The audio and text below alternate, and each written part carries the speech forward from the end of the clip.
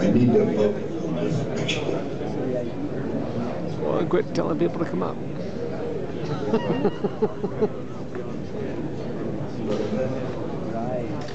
right.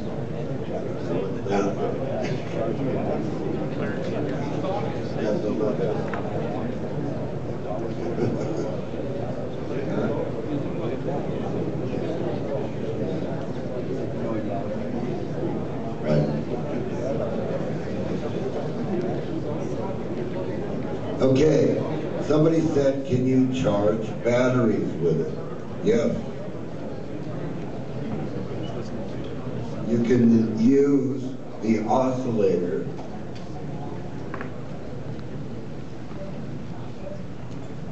Here's how you would charge batteries.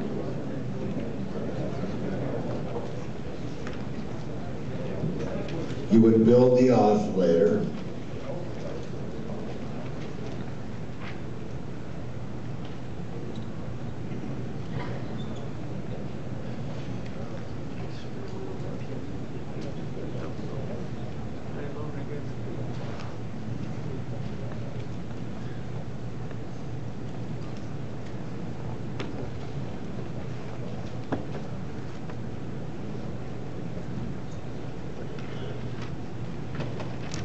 The SG, remember, is a forced oscillator, so the output to that is going to look something like this.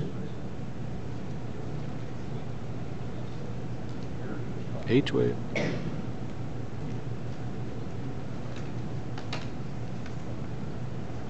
These are the spikes. So you would just do the same old good old boys trick with the diode. And you would put the appropriate number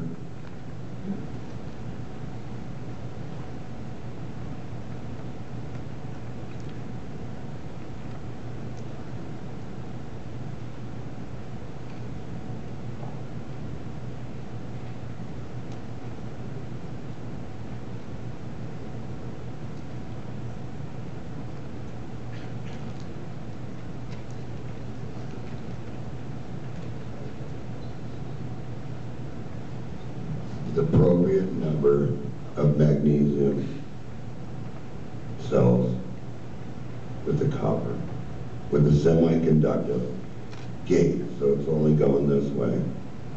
And you would connect it up to the SG oscillator, and then you would apply the battery you're going to charge to it the same way it's on the machine.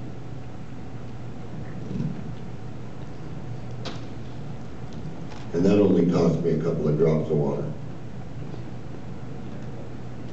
And it will stay like that for probably three, four, five days, depending on how much moisture was in the crystal before it dries out. But the unique thing is, is you can let it dry out, put it somewhere, and use it in emergency. Now, we were playing around with this, we could get a white LED. So, but it's light. See, it's really got some light this way. And we just couldn't get the mirrors right in there. But the other night I was sitting there and I'd say, well, can I read by it? And when it's dark and there's no light at all, yeah, I can read by it. So it would be the same thing as your garden light. You could read by your garden light if you had to. And it's the same theory. Everybody uses the same theory on garden light. Should had that drink, huh? But you would just build these cells.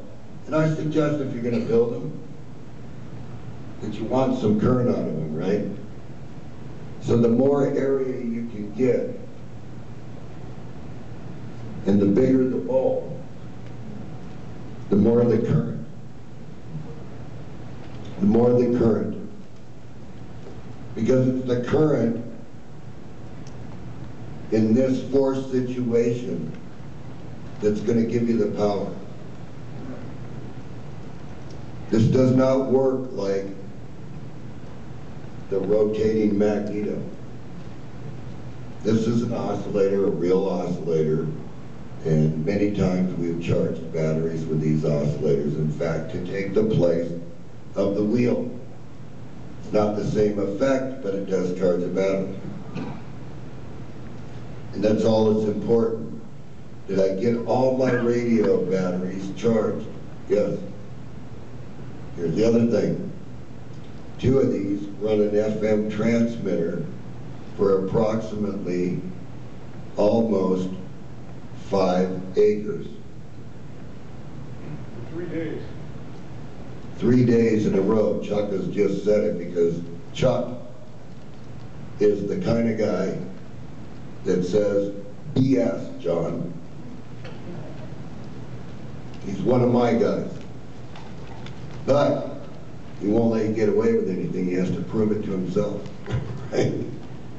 So he drove around in a car for days and days and days and says, hey, that's about five football fields that transmission's going.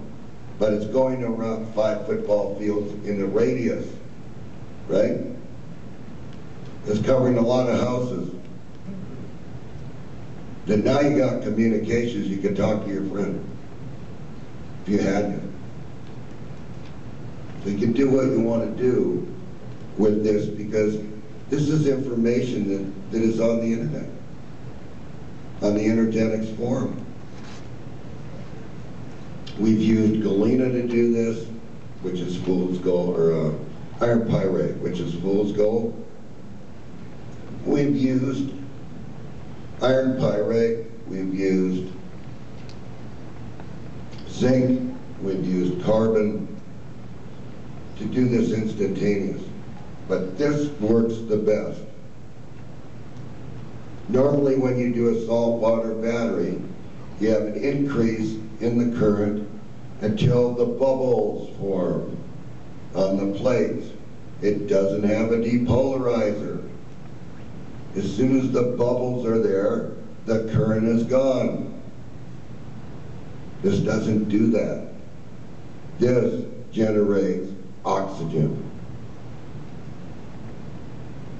Is what comes out of there. So Chuck, you want to, where we went?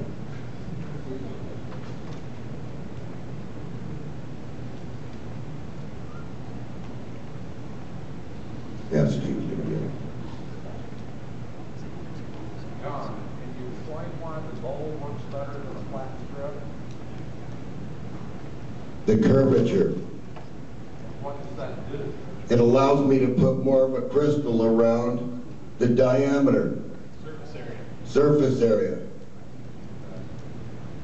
You said you built them. Yes, sir, I did. Is it running?